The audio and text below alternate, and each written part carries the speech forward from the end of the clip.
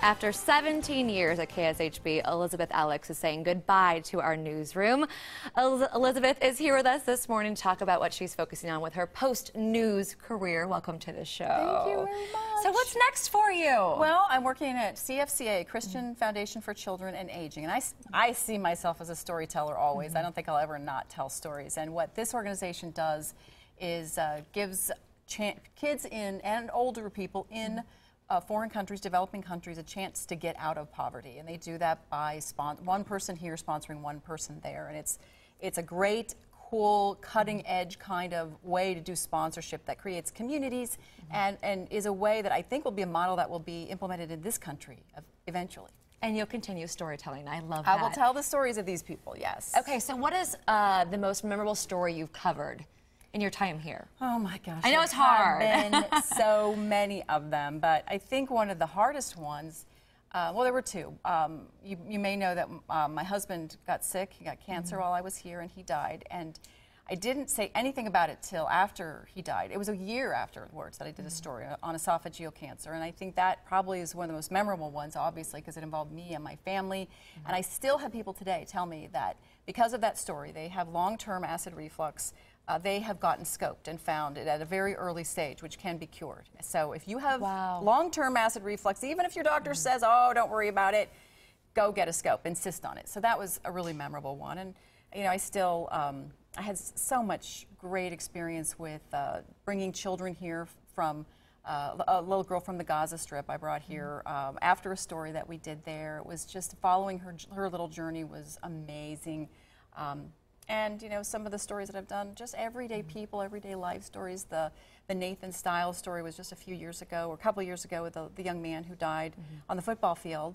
Um, his parents are just amazing, inspiring people and brave, and they made me braver for knowing them and being able to tell their story. Those people stay with you forever. They do. They'll never leave me. Those They'll never leave my stories heart. are yeah. Mm-hmm. always part of your part of you now, for from now sure. on. Um, in terms of people that really have made an impact on you, what about just the people that you've worked with? I know we are talking, you were laughing about John Anthony, one of our You know- fantastic crew members. Well, there was one story that we had like there was like this singing contest, and these people like were the like a barbershop quartet or something Mm-hmm. like that. They were like on this in this national uh, contest. And I guess he was just sort of having fun with it. He was like doing the Michael Jackson slide, you know, to the music. And somehow that clip got on the air. That was very funny. what will you miss the most? just I'll miss the people. I'll miss Yeah. the people who I work with every day. I'll miss the, the idea of being able to tell those stories every day. But I'm planning on still uh, doing some stories from time to time. So I'll still have that opportunity, and I, I, I hope that works out well. Wouldn't it be fun though to be home at six o'clock? You know, eat, eat dinner at a normal time as It'll opposed to an- seven thirty or eight. This is what my, my 14 year old said. It'll take some adjustment for me. so everyone around you is adjusting to Hey, you my- retiring from news they- business and my, going to a normal my job. husband is like, okay, I'm going to put up with maybe one more day of crying, and then after that, you got to move on. Is So- it bittersweet for you?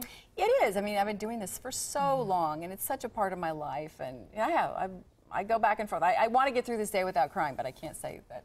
I can't promise myself it'll really happen. How has the business changed since you did your first story? From the dark ages, oh my Oh, gosh! I remember um, carrying around this huge.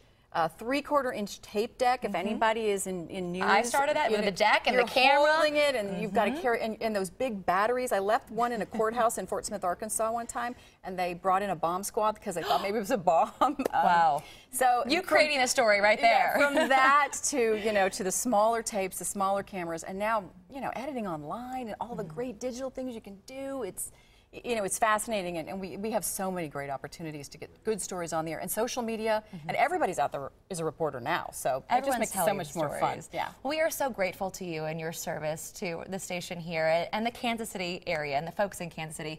We wanted to give you something a little special. Michael, come on Oh, in.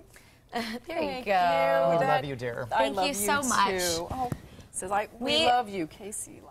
There you go. Thank well, you. we enjoy watching you and um, you sharing yourself with us and with Kansas City. And I know that you've got a lot of folks out there that just think the world of you. Oh, thank so. you so much. Thank you. You have Yeah, always been you have always been one of my biggest cheerleaders, so I just want to I say am thanks. your cheerleader. I know. I, just, I love you so And much. Your spirit is just makes my day whenever I see you. Oh, and well, and I'll get, still get to have my day made by watching you guys too. Okay. All right. We made you. it through without crying. know, okay, okay, okay. Made it through without crying. Okay. We'll be right back.